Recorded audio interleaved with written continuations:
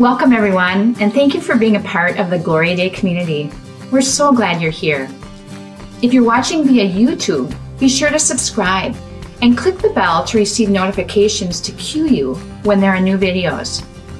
And be sure to visit, like, and follow our Facebook page for posts, shares, and upcoming events and videos. Want to learn more about our ministry? Visit our website at gloria-dei.com. You'll find ways to get involved, links to archived worships and helpful items for your spiritual journey, activities for the family, and more. Thank you so much for being a part of the Gloria Dei community. We're so glad you're here and that you're joining us for worship.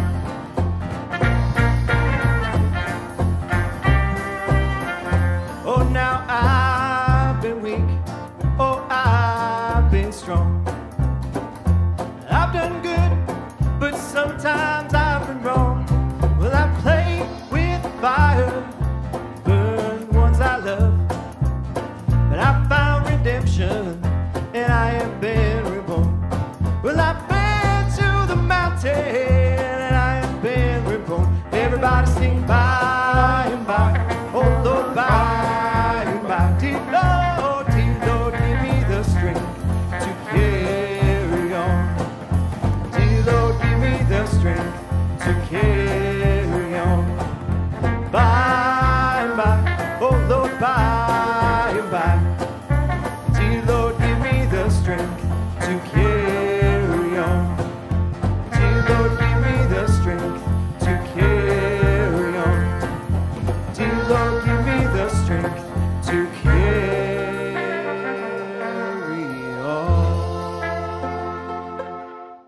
Welcome to worship. It's so good for us to be together. We're going to start with a number of announcements. First, this Wednesday, March 2nd, is Ash Wednesday, and we have a lot happening. We'll have a morning service at 11:30 and an evening Water's Edge Ash Wednesday service at 6:30. Following these services on Ash Wednesday at 11:30 in the morning through Lent, we'll have what we're calling midday prayer around the cross services with Taizé music based on the music of a Taizé community in France, these short, repetitive songs that sort of get into your bones and allow you to pray through song in a different way. So we'll experience that together in the mornings during Lent. You'll get a taste of it if you're there on Ash Wednesday. We'll also feature a meal in the mornings after the 11:30 services, and at night, starting this Wednesday, March 2nd, the silent auction begins. The auction is going to run all through the month of March. There's a meal at 5 o'clock, and the auction remains open until Water's Edge starts at 6:30 each night. It'll be set up in the fireside room upstairs, and there are all kinds of great items to check out. This Wednesday, the meal is pasta bar. You don't want to miss it. Get there on time so that you can get in line for the food while it's hot. On this same note, the auction, of course, is to raise money for our summer trips, and that summer youth trip to Michigan is still reopened for registration. So if you are a high schooler or you're going to be going into high school in the fall and you would like to be a part of this trip or you have a friend that you'd like to invite, don't hesitate. We would still love to have you. You can find more information on upcoming programming for Lent in the quarterly that will be coming soon. Also of note during Lent, we're going to have a book study on John Philip Newell's Sacred Earth, Sacred Soul, exploring the richness of Celtic Christianity through its history and some of its uh, unsung heroes that John Philip explores in each of the chapters. This will be led by Dave Berg and will be each Wednesday in March as well as April 6th. This will also be uh, from 7:15 to 8:15 p.m. downstairs in the Looking Within Center. We also have some updates about our families of Afghan evacuees. Thank you for your prayers for them and for your support and for your interest in what we're doing to walk with these families. Due to scheduling conflicts, we are looking for some more people to join one of the teams. So if you're available and interested, we would really love to have you. Contact Josh or give the church a call. This would be great to have your help. Also, we're looking to find someone to work with us here at Gloria Dei in order to lead some kind of budgeting and finance classes that we can offer these families of Afghan evacuees. So, if that is a gift that you have and you want to work with us, please let us know. That would be wonderful. Finally, we have uh, a party coming up on Sunday, March 20th, a New Year's party for these families, and we're seeking monetary donations to help go towards this party so that there's no cost to the families. Some of the dietary requirements are specific, and so we're not looking for anything in kind. We're just looking for monetary donations. So you can bring those by the church. If that's something you're interested in supporting, we would really appreciate it. Finally, some prayer requests. One of the families, uh, one of the dads, really needs his social security card. So if you could say a prayer for that, that would be wonderful. And both of our families are quite concerned about their families back home in Afghanistan. They are facing all kinds of unique challenges, everything from life under the Taliban to rising prices for food and gas. And so they would really appreciate your prayers. Also, that they would continue to find community here. More about that in the prayers this morning. Well, that's all the announcements that we have. Thanks for being here. Welcome to worship, and let's continue together in song.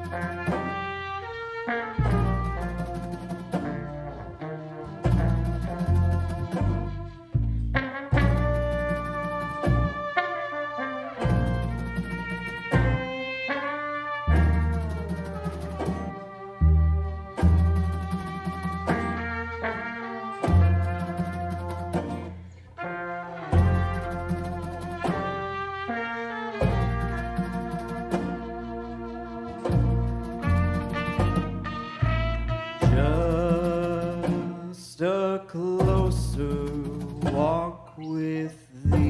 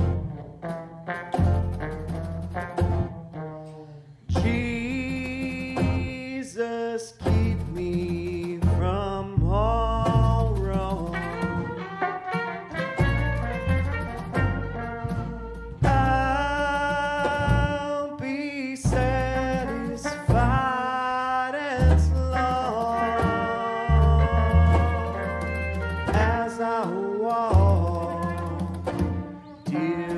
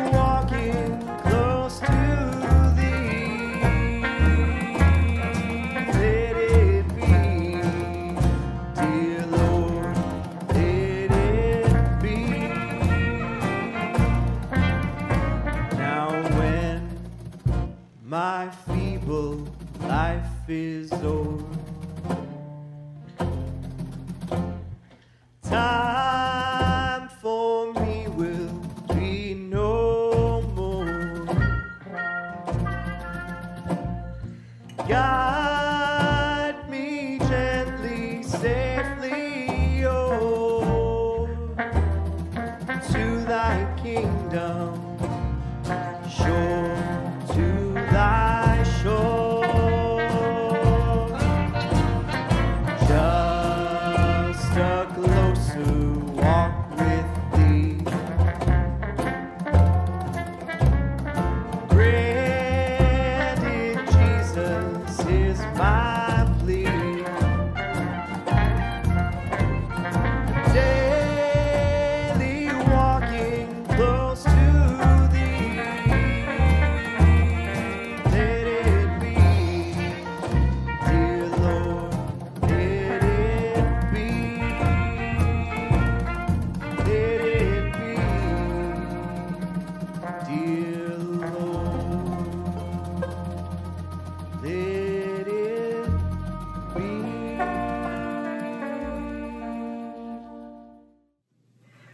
9 28 to 36. Now, about eight days after these sayings, Jesus took him, Peter, John, and James, and went into the mountain. And while he was praying, the appearance of his face changed, and his clothes became dazzling white. Suddenly they saw two men, Moses and Elijah, talking to him. they appeared in glory and were speaking of his departure, which he was about to accomplish at Jerusalem. Now Peter and his companions were weighed down with sleep, but since they had stayed awake, they saw his glory and the two men who stood with him. Just as they were leaving him, Peter said to Jesus, Master, it is good for us to be here. Let us make three dwellings, one for you, one for Moses, and one for Elijah, not knowing what he said. While he was saying this, a cloud came and overshadowed them, and they were terrified as they entered the cloud. Then from the cloud came a voice that said, This is my son, my chosen. Listen to him. When the voice had spoken, Jesus was found alone, and they kept silent, and in those days told no one of any of the things they had seen. So as we wrap up our sermon series on baggage claim, I'd like to close with an image of two different items, a box and a backpack. First, the box. It was about seven, maybe eight years ago now that we packed up one house here in Rochester and we moved to another. In order to, to move out of our old house, we had to sell it. In order to sell it, we had to make it look a little less cluttered. We had to make it look like we aren't quite the slobs that we actually are. And so we had to pack some stuff up in boxes and put it into storage. Now, we made several different trips, right? We took several trips to the dump. We took several trips to Goodwill. But then the stuff that we actually use and needed went into boxes and went into a storage unit because we weren't going to need it for the next two or three months while we sold our house. Boxes are good and important for different things. But so are backpacks. This backpack was a gift uh, for Christmas. I got it a few years ago, and I and I kind of love it because I, I put my laptop in there, and I put some folders in there, my headphones, sometimes a snack. I will take this backpack with me as I. It, it's my carry-on when I go on the airlines. It goes with me to to the coffee house sometimes when I want to get some some work work done there. It's really important. I love it. It does the job for me. Look, but sometimes we need boxes, right? And sometimes we need backpacks.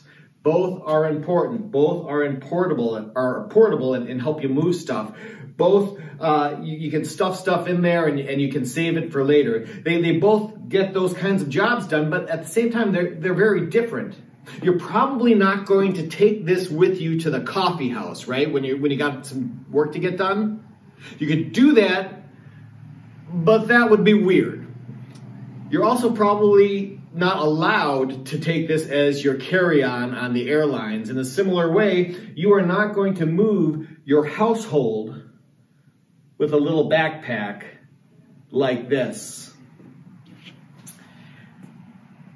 The one that you choose, the box or the backpack, is determined by the kind of journey that you're going to have. Whether you choose the box or the backpack, that's determined by the kind of journey that you're having, right? More about that in a little bit. Now to our Bible passage for today. And let's be real for a moment. This thing's weird. It is strange.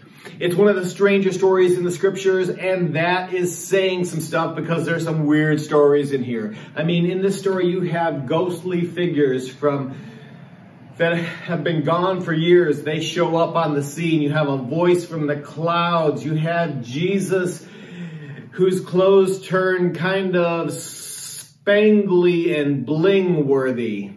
It's a weird story, but let's hang with it and see what we can learn, see what we can discover. Jesus, he hikes up the mountain with his friends, Peter and James and John, and You know, have you ever hiked up to a mountain or a high hill? There's just something about the view. There's just something about the clarity and the perspective that you can get from there, isn't there?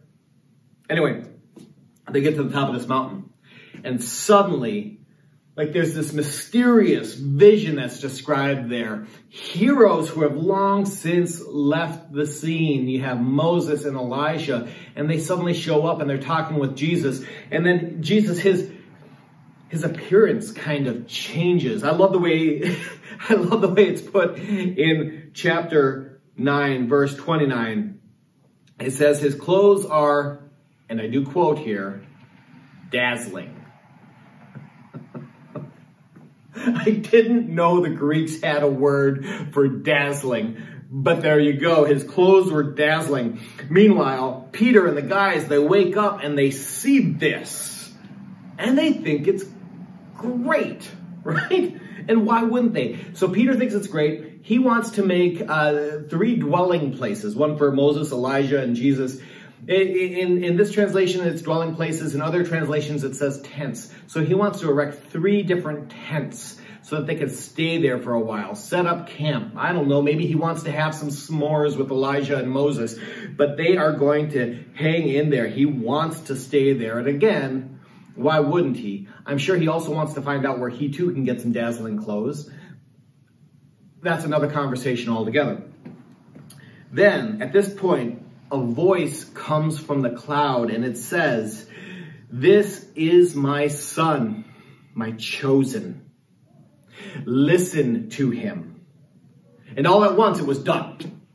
All at once it was done. The voice was quiet and Moses and Elijah were gone and it was just Peter, James, John, and Jesus in street clothes on the top of this mountain. Again, it's a weird story, absolutely. But I think first and foremost, a story like this kind of feels like it's one about clarity, right? There's just something about the vision. There's just something about the view from the top of a mountain, isn't there? I think at this moment, Peter and James and John could begin to see clearly who Jesus really was, and I think that they could be, begin to have a sense about what was about to take place, about what was to come.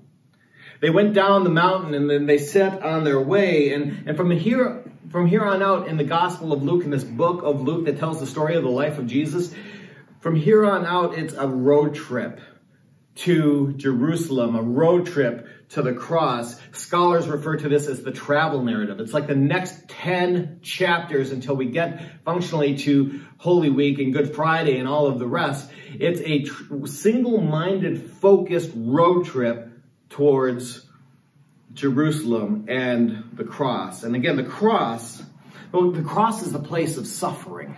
They want to stay on the mountain where there's glory and there's good stuff happening and it's exciting. But this is a journey towards the cross. The cross is the place of suffering. The cross is the place that we are reminded that suffering is not the end. And we don't end in, enter into suffering alone. See, the journey of Lent, the journey of this season of Lent is a journey towards the cross. This week, we join Jesus and Peter and James and John on this, on the beginning of this extended road trip. And before we go, you just might need a box or you might need a backpack. As I said, the one you choose determines the kind of trip, the kind of journey that you're going to have. For Lent, some people really do like a box. And they like to put things in the box and put it away for the season of Lent. They like to pack up this box and, and, and put it away for six weeks and, and after Easter, open it up and, and, and take the stuff back out. So you'll have people putting chocolate in the box or they'll be putting sweets, or maybe they're putting their social media in the box and putting it away, putting a TV in the box, putting it away. And for some reason that I'll never understand, some people put coffee in the box. I don't know. I don't know if that's the kind of journey that I'm going to be on this Lenten season, but people put stuff in the box, they put it up on the shelf, they put it away and give it up for Lent, as it were, and, and put it into storage for a season. Again, some people during Lent like the box, others like the backpack. Now the backpack idea is that you take you take your backpack, you put a practice in there and you go for a hike and you take that with you for 6 weeks. So it's like taking something on for 6 weeks through the journey of Lent, a practice. Maybe you join a book study. We have a our Celtic book study that's happening on Wednesday. Still opportunities to be a part of that if, if you like. But maybe it's being a part of a Celtic book study, or, or maybe it's uh, taking on a new exercise program, or meditating, or making worship a regular part of, of your routine. It's a matter of taking on a practice, putting it on, and seeing where it leads you for the next six weeks. And look, there is no right or wrong answer here.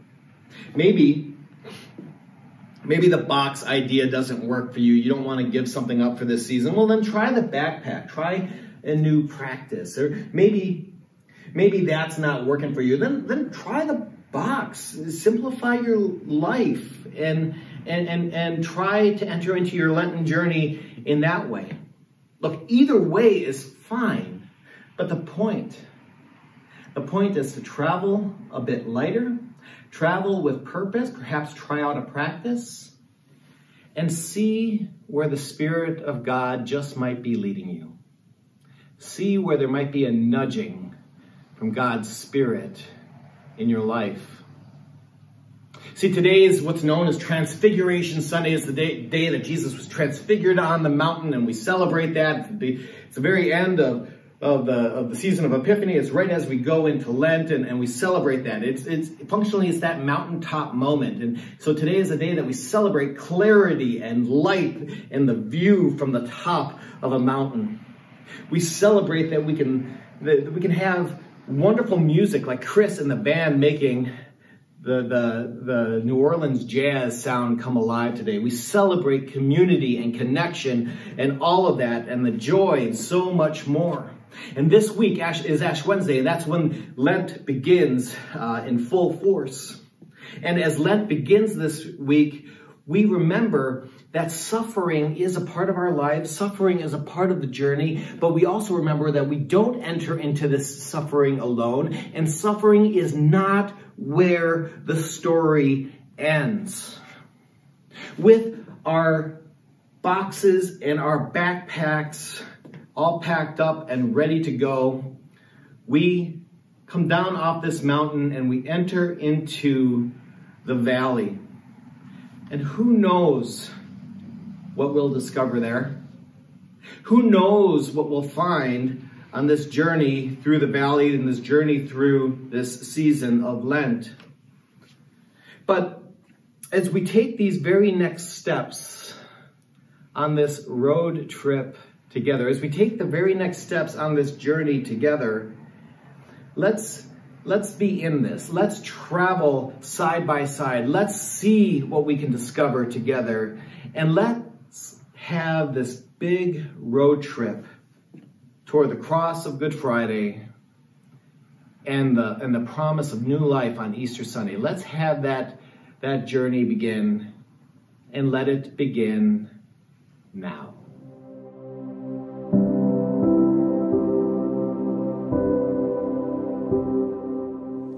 Let's now pray to a God who listens and who responds in love. Lord Jesus, you took Peter, James, and John to pray with you on the mountaintop. Teach us now how to pray. Teach us to bring you our hopes and our fears, our dreams and our wonderings.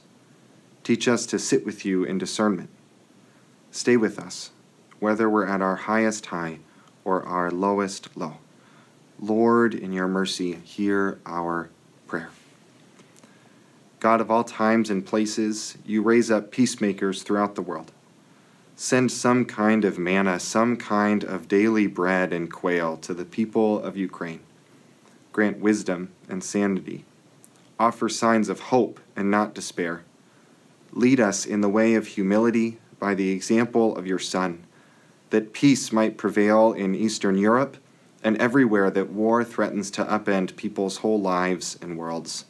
How long, O Lord? Lord, in your mercy, hear our prayer. We pray for refugees and immigrants, evacuees in America and around the world. We pray for those receiving quilts and kits from Lutheran World Relief. Especially, we pray for the families we are privileged to walk with in our community right now. We pray for a Social Security card and for community. And we pray for their families still in Afghanistan. Grant them food, work, and safety. Lord, in your mercy, hear our prayer. Compassionate God, you heal our every ill. Console those who are troubled by sickness, grief, loneliness, or discord. Grant respite to caregivers and relief to those who are suffering. Especially we pray for Scott, for Mike and Shirley, and for Bob. Lord, in your mercy, hear our prayer. God, our hearts are full. In the midst of all that we carry, carry us. Promise us your love and mercy anew. As we walk into Lent, teach us again your ways of generosity, faithfulness, hope, and love. Lord, in your mercy, hear our prayer. Into your hands, O God, we commend all for whom we pray, trusting in your mercy through Christ our Lord. Amen. And now let's pray together the prayer that Jesus does indeed teach us. Our Father in heaven, hallowed be your name. Your kingdom come, your will be done on earth as in heaven. Give us today our daily bread. Forgive us our sins as we forgive those who sin against us. Save us from the time of trial and deliver us from evil. For the kingdom, the power, and the glory are yours, now and forever. Amen.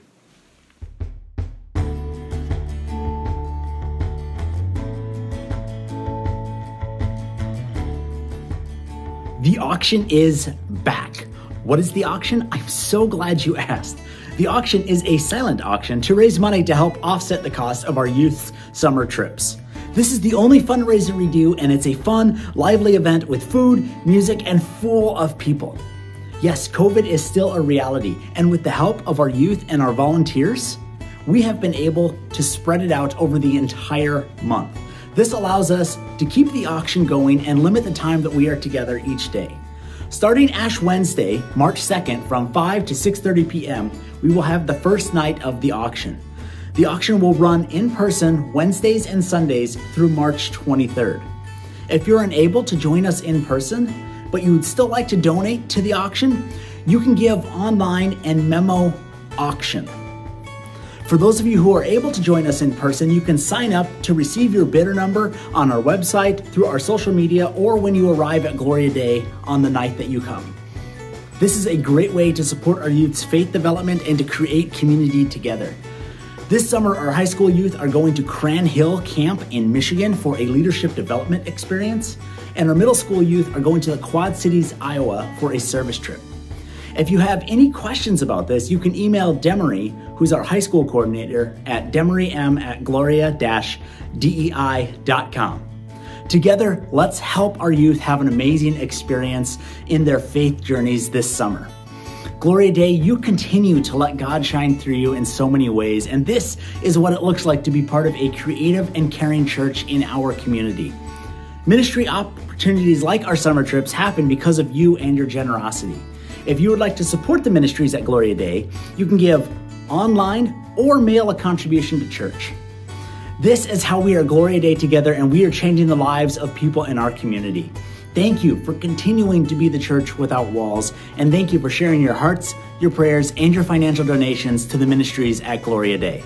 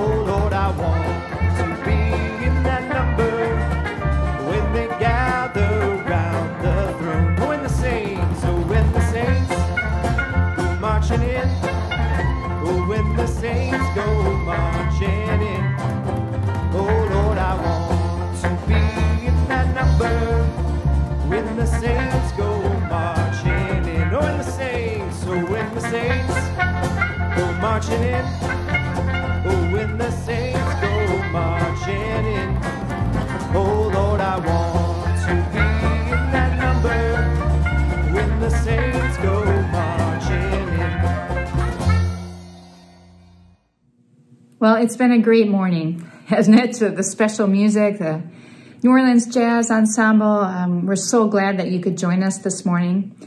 We hope that we will see you again next Sunday as well at 9.30 on YouTube, through Facebook, on our website. Um, hope you'll find us and worship with us again next Sunday at 9.30.